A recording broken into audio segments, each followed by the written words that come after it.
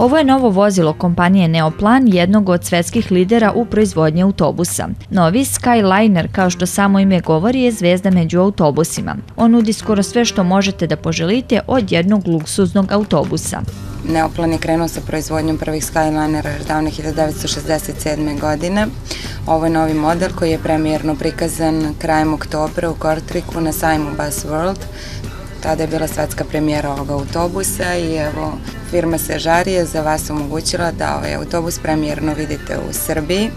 Firma Sežari je ovlašćeni zastupnik i distributer MN Neoplan vozila za Srbiju, Crnogoru i Makedoniju i ovim putem, organizacijom ovog road showa, rešili smo da vam predstavimo novi model double deckera. E, dužina ovog Skylinera je 14 metara, luksuzno je opremljen i odgovara svim zahtevima današnjih putnika. Ovo vozilo je opremljeno brojnim uređajima. Autobus je opremljen najsavremenim elektronskim sistemima i bezbednostnim koji olakšavaju vožnju i bezbednost putnika i samih vozača.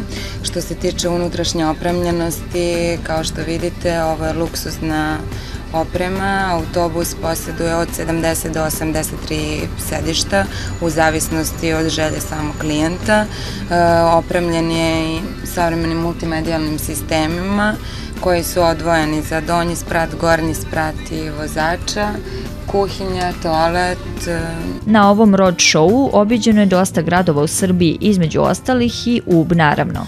Postoji zaista jako lep odaziv klijenata, svima se autobus dopao. E, što se cene ovog autobusa tiče, u zavisnosti od opreme koja se odabere za autobus, cena varira od 450 do 500.000 eura. Napomenula bih još nešto da je ovu promociju u saradnji sa firmom Sežari obezbedio i Webe Leasing koji pruža finansijsku podršku našim klijentima. Kakav je autobus zaista, čuli smo i od direktora Bambusa.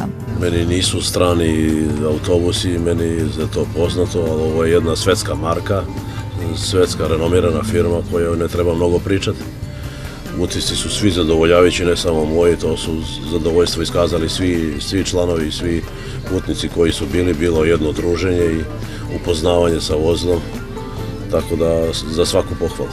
Priliku da se provoza ovim autobusom imao je i naš sugrađanin Dragan Damjanović koji nas je i obavestio o prolasku ovog autobusa kroz UP.